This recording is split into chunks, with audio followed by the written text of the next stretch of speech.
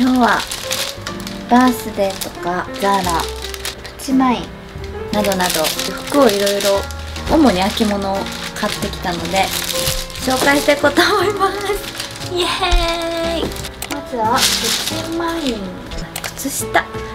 靴下です。もうほとんど入らなくなってきて最初に買ったやつがちょっと大きくなりました。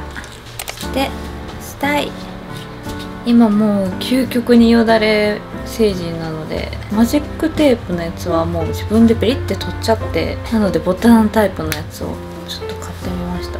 じゃんボーダーかわいい。腕のとこにロゴがありますね。でボタンが2つついててこれ8 0センチですね。じゃーんカーディガンちょっと薄手のカーディガンを買ってみました。これもね23色あったかな。ちょっとごめんなさい適当言ってたら。じゃん。これ何かと言いますとじゃーん。じゃーん。エプロンですね。ここにこぼしたものとかここに入るようにポケットもついててこ長袖タイプですね。今から多分つかみ食べが始まるので買ってみました。これも蝶ネクタイついてる私蝶ネクタイ選びがちやのそれででしょこれほんと持ち歩きできそうですね。次はバースデーで買った。服紹介します。こちら。ここにブルーとブラウンのリボンがついてて。でこれ日よけがついてるんですよね。マジックテープ外すとくるくるしてここに収納できました。マジックテープつけて留めて。取り外しはできないけど収納はできるみたいですね。裏地はなんかこういう虹と顔がついたクモさんこれが4 4センチで税込1309円でした。一目惚れで買っちゃいましたね。80センチのものです。そしてこちらこれ46から48センチですね。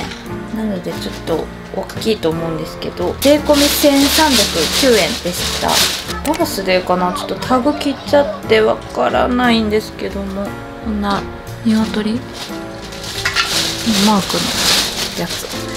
あもう今ぴったりや。いや。頭って意外とでかくなるの早いですね。こちら。3これねいろんな曜日が確かあった。カラーもたくさんありましたね。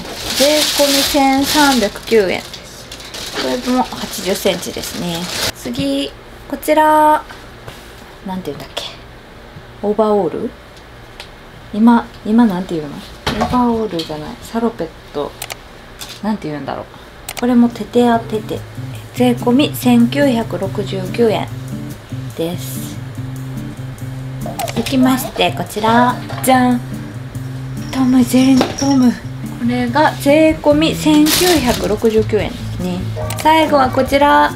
じゃーん。一目惚れで買ってしまいました。税込み2790円でした。